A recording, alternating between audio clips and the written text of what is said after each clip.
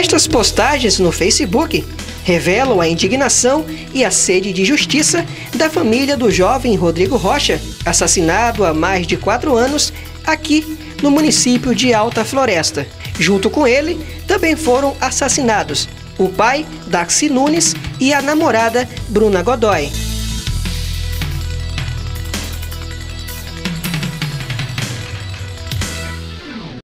A chacina que aconteceu na noite de 26 de fevereiro de 2009 foi motivada por ciúmes do ex-marido de Bruna, companheira do Rodrigo na época. Márcio Pires Gonçalves, o Bibi, teria sido o autor do triplo homicídio.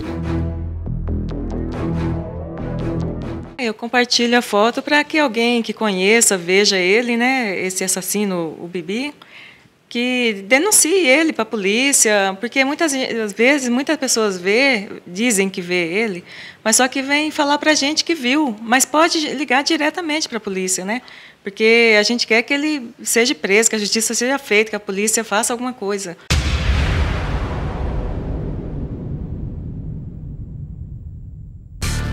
Ainda segundo a família, o assassino invadiu o comércio do pai do Rodrigo no centro da cidade e executou a sangue frio as três pessoas.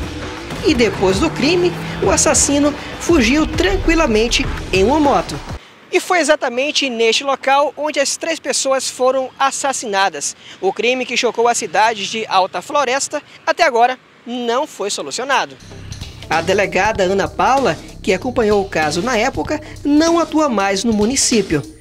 Segundo funcionários da delegacia, ela foi transferida para a Delegacia da Mulher, na capital. O processo do triplo homicídio foi provisoriamente arquivado pelo antigo juiz da Quinta Vara Criminal de Alta Floresta. Procuramos o juiz responsável pelo caso, mas, de acordo com a gestora da Quinta Vara Criminal, ele está de férias.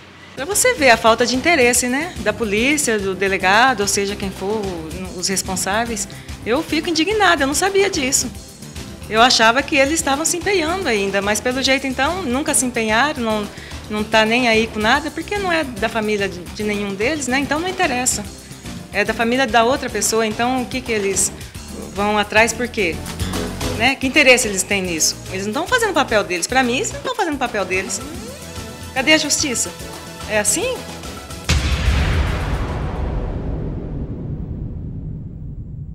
Quem tiver alguma informação do Márcio Pires Gonçalves, o Bibi, autor da chacina, pode entrar em contato com a família.